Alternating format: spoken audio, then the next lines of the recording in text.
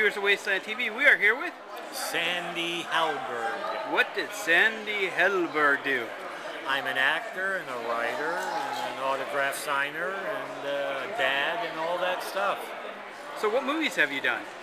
I've been in Up the Creek and uh, Hollywood Knights, and I've done. Uh, actually, did a, a small part in the Barbra Streisand Star Is Born. Really? Which they wound up cutting, and then I heard on the DVD version they put my scene back in, which is nice. And uh, what else have I done? A lot of TV, MASH, uh, Married with Children, Newhart. Um, Were you a regular on any of those shows? no, not on those. I had a series, that, that one down there, in the black and white picture.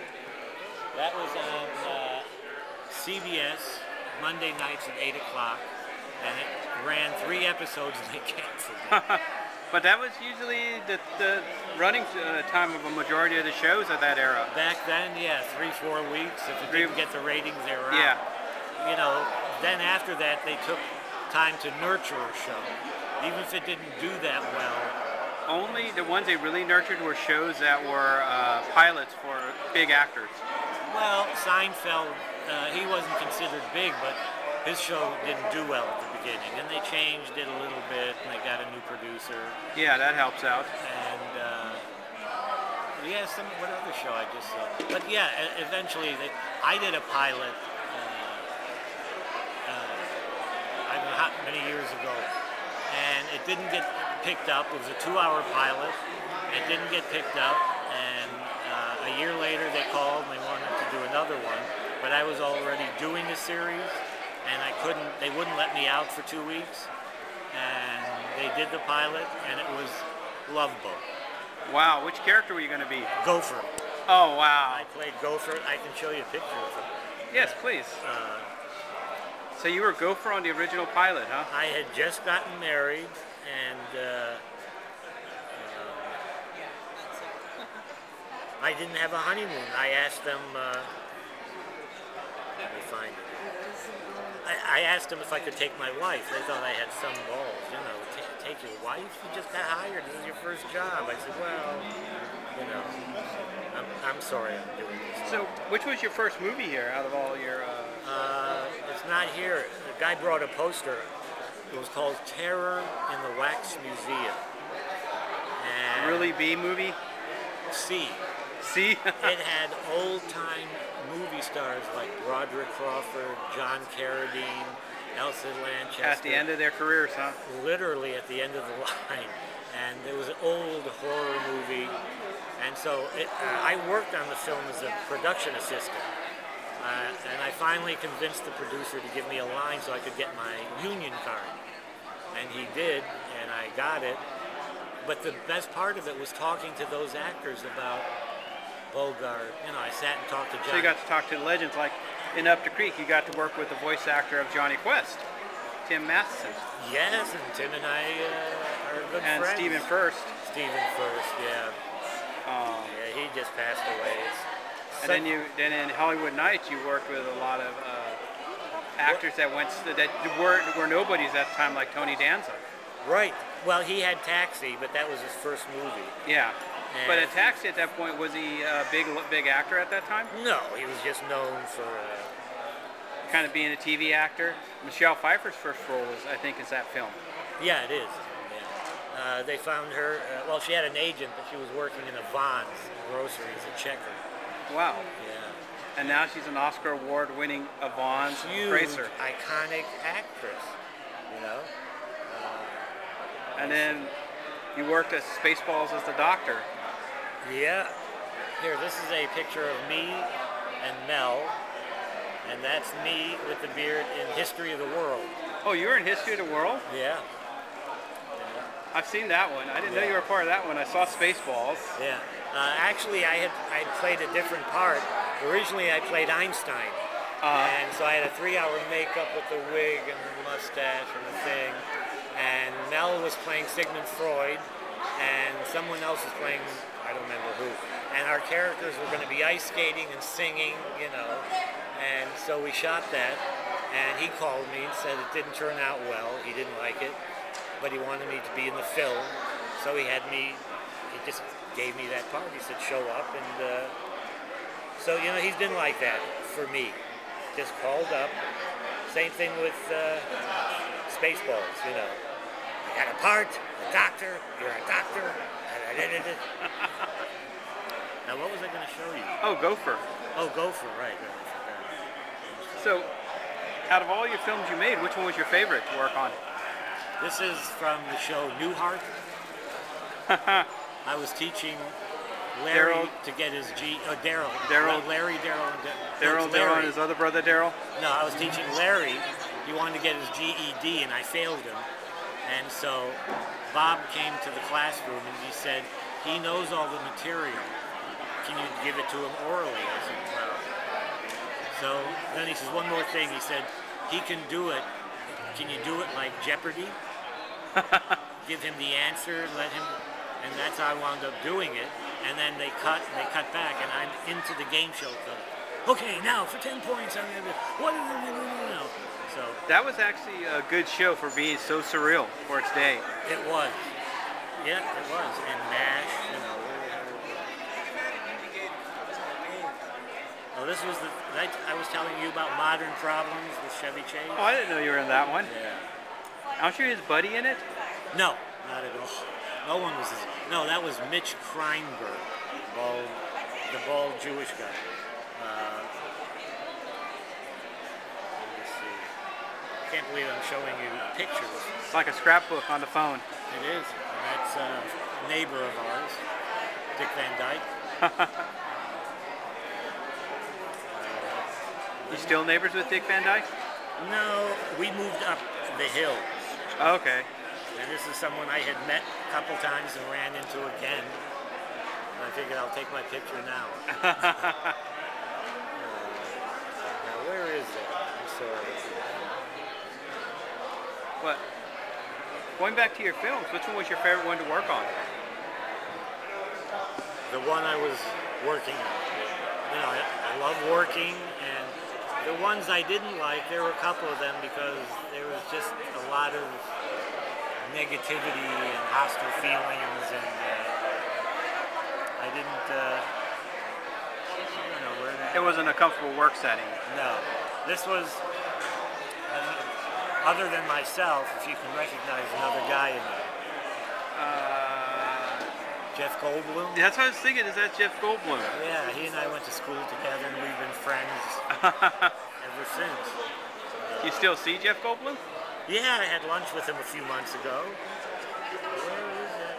I'm- sorry. Uh, He's had an amazing up and down career. Where you think he's going to go and disappear like a lot of actors, and then he He- reemerges. Here he was doing a play at Lincoln Center. he, uh, yeah, you know, he's just had a very slow, steady climb of his career. And that's the best way to have it. It doesn't burn out. Yeah. You know, you're not hot for not for a minute and then you're gone. I don't know where that is. So are you still acting? Yeah, whenever I can uh, get work, I do a solo show called uh, "You Can Only Blame So Much on the Holocaust." Because my parents were Holocaust survivors, and I was a year old when we came here, and uh, it was like being in my own Holocaust because we they sent us to Ohio, a small town. All the kids were rednecks and anti-Semitics, and I was a short little guy with a big nose and big ears. And my parents only spoke Yiddish to me, so I had an accent, uh, and it was tough. So they used to rough me up, and I was glad to, to, to move out of there. I finally, after high school, I went to New York as soon as I could. Did you go into acting, or did you go into start no, I always else? wanted to do it. Actually, I went into stand-up first because that's what I did at home. There's Richard Lewis. Uh, it was his birthday, and he didn't know it. Do you still do stand-up? No, I, I with this group, uh, the Groundlings, an improvisational group. I was. I was one of the originators, and I like doing that a lot more instead of because it was uh, you're actually doing a scene, you're acting, but you're improvising. You're writing on the spot. Right, and it's not all on you. you know? It's not all. I don't know where those love boat pictures are. Somebody must have come in and cut them out. Anyway, yeah, that was uh, that was one of my first jobs was the Love Boat. So, how was it like to work with Mel Brooks?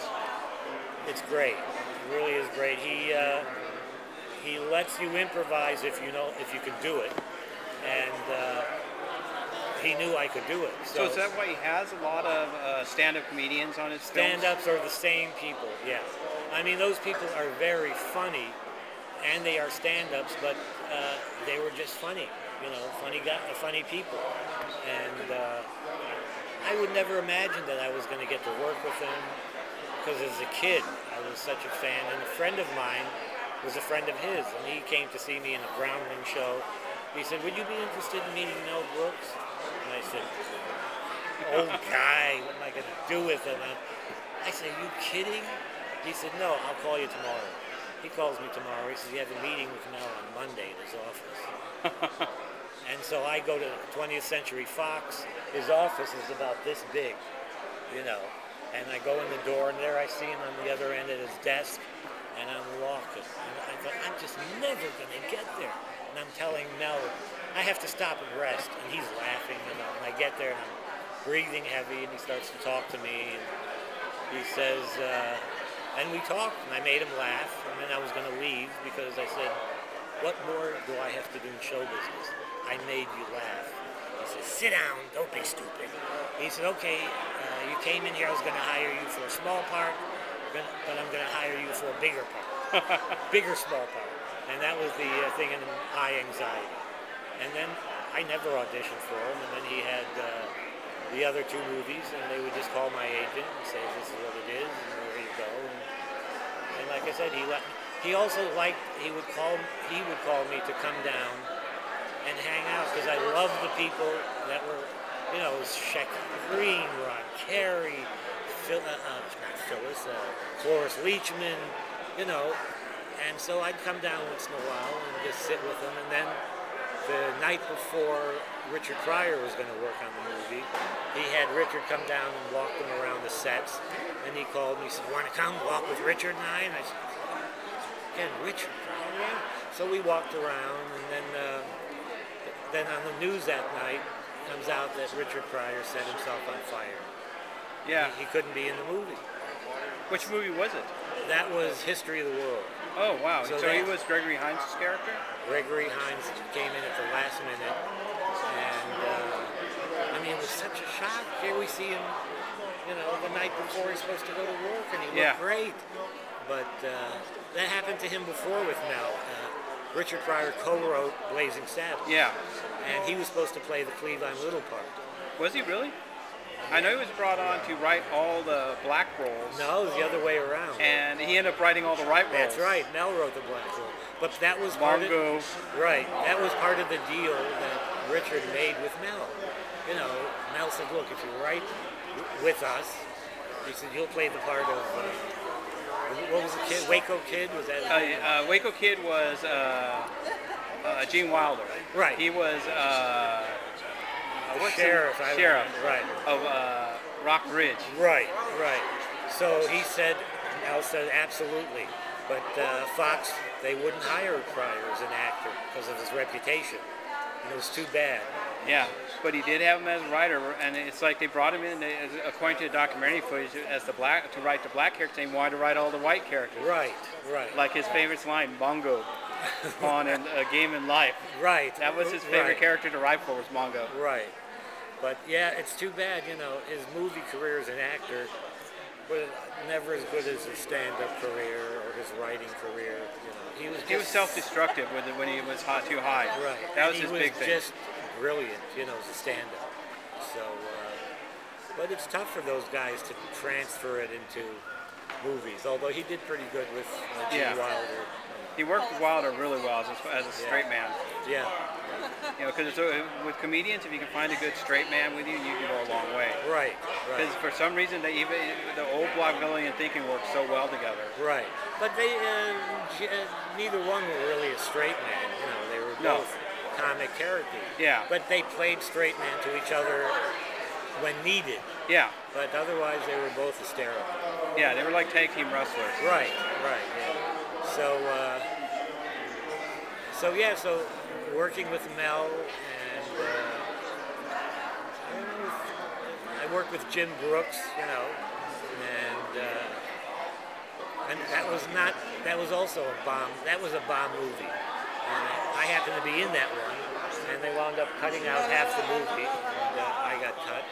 But uh, no, there were you know I loved doing the show Newhart. They were very nice. How many episodes of Newhart did you do? Two, just two. Same character? No, different character. Uh, the first one, uh, Larry, Daryl, and Daryl were opening a cafe next to the hotel, and they were cooking everything, and they didn't. So I come in, I'm the first customer, and they try everything out on me, and it was great for me. They were throwing shit, and I was ducking, and you know. Uh, it turned out they were not made to run a cafe. but. Um, so you know, it was. Uh, I the work is what I love to do, which is why people who become successful and then get lost, like we were talking about, in drugs. I don't get it. To me, the work was the drugs. That's what I love to do. The adrenaline. And got high. To me, the other drug, doing drugs while working, would sap your strength.